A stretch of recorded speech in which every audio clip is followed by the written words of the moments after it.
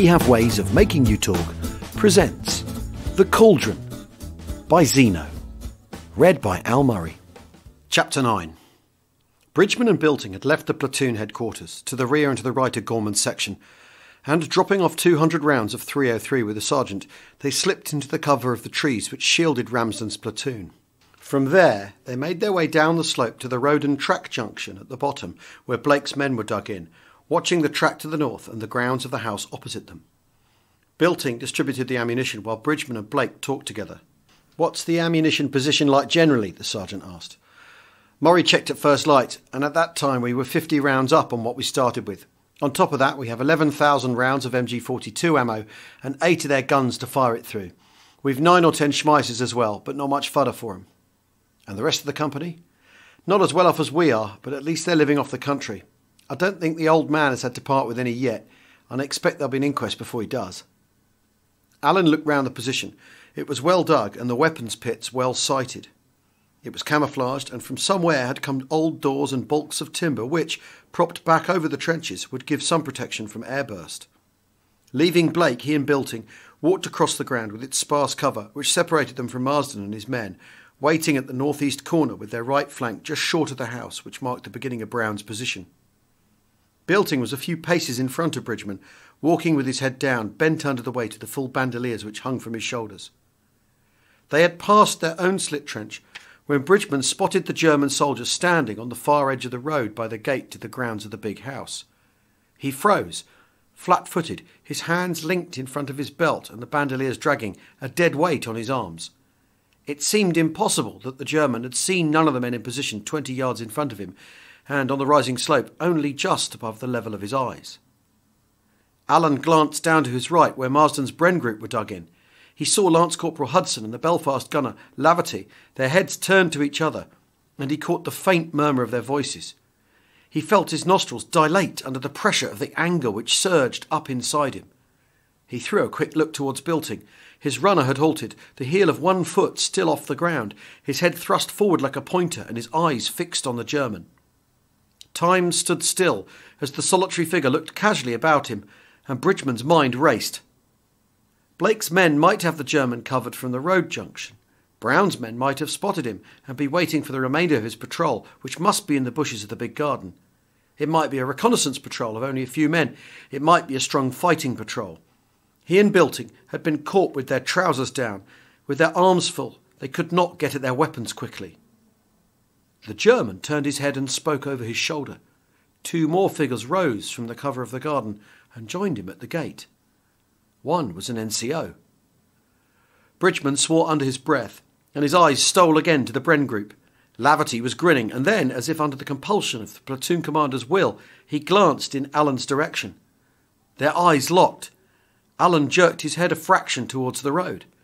He saw Laverty's ears move back as the skin tightened on his face, and the quick, darting search of his eyes as they swung from Alan to Bilting and onward. He saw him turn his head and shoulders gently, his right hand drifting towards the Bren, his left closing on Hudson's arm. Bridgman looked up at the Germans.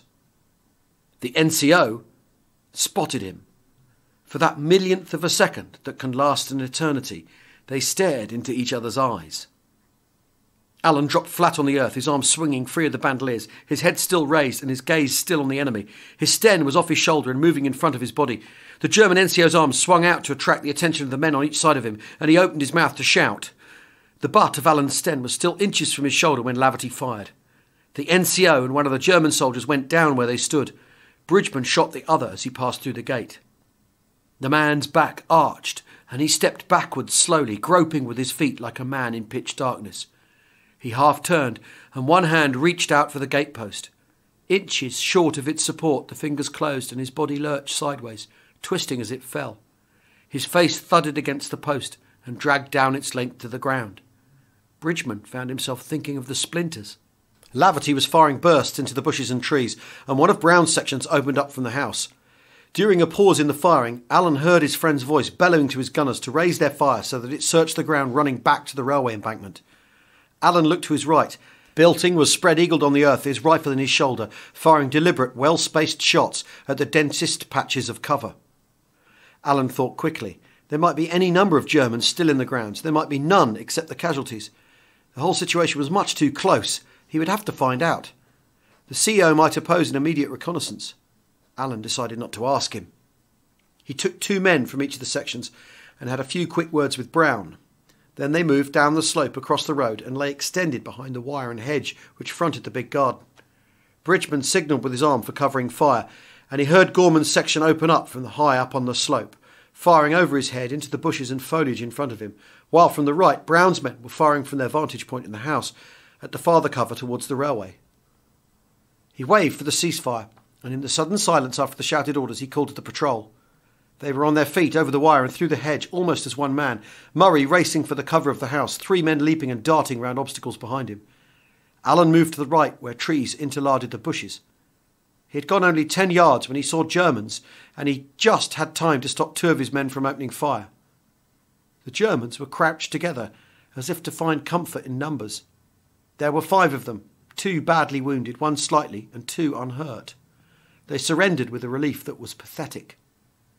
Bridgman went back to the gate and waved to his platoon, and when he was sure of their attention, he called the Germans forward.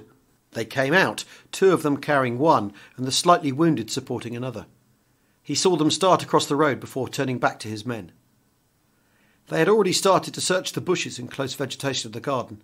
He took them to the north towards the railway, covered by Murray and his men from the house. They found no live enemy between the company position and the embankment. Behind the cover of the high mound, Bridgman halted his men and sat down to think.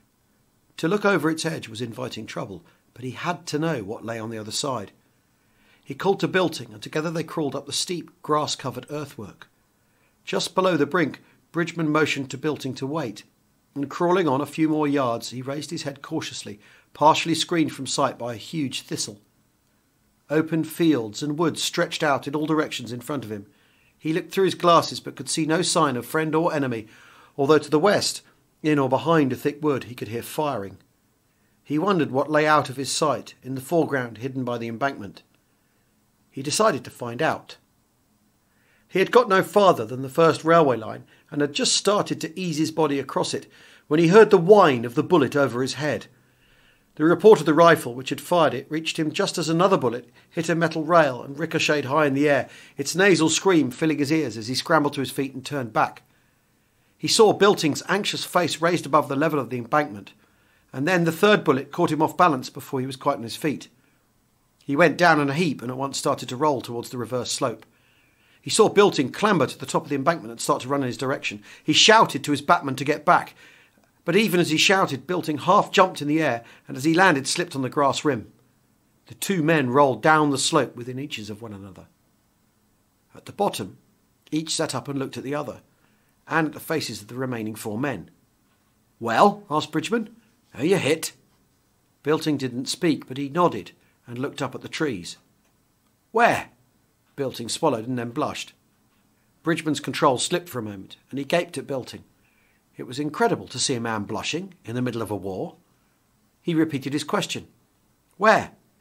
Bilting continued to gaze at the treetops as he muttered an unintelligible reply. Bridgman became angry. For Christ's sake, man, where have you been hit? In the arse. Everyone laughed except Bilting. He turned to Bridgman. And where have you been hit, sir? Bridgman stopped laughing and tried to remember.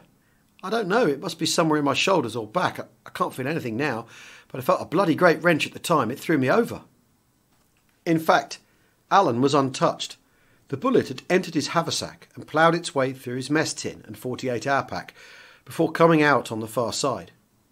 A protesting Bilting was laid face downwards on the ground and his trousers were taken down, one of the soldiers said with simulated concern, You really ought to take yeast fight, mate. Your blood's out of order. There's pimples all over your arse. Bilting swore, blushing angrily again when Bridgman laughed aloud. Bilting, you've set a record. You got four holes from one bullet. It's gone in one cheek, out in the middle, into the next, and out on the far side.